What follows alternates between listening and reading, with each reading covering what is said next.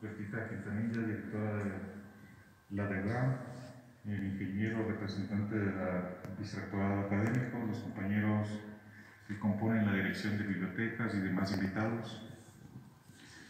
Eh, en este día tan importante para nuestra comunidad politécnica, como debe ser la parte de los sistemas de información y bibliotecas, para mí es una satisfacción poderles dar a ustedes la bienvenida en este evento que ya se está tornando tradicional en nuestra institución, el segundo concurso de cuentos.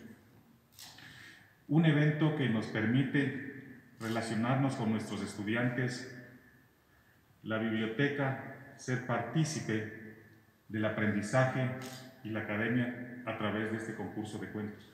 Además de los servicios que brindamos, tenemos una relación más directa con toda nuestra comunidad.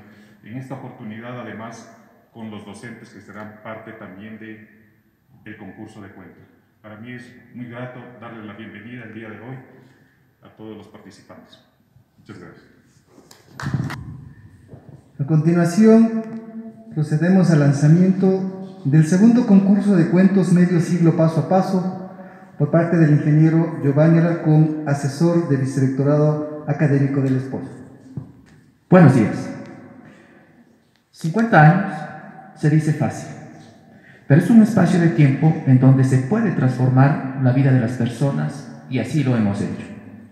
Y qué mejor que celebrarlo con un concurso de cuentos. Las personas siempre hemos necesitado historias para comunicarnos y sentirnos conectados. Una historia, si se construye bien, tiene el poder de conmover no solo el corazón y los sentimientos, sino también a la mente del público que la ve o la escucha.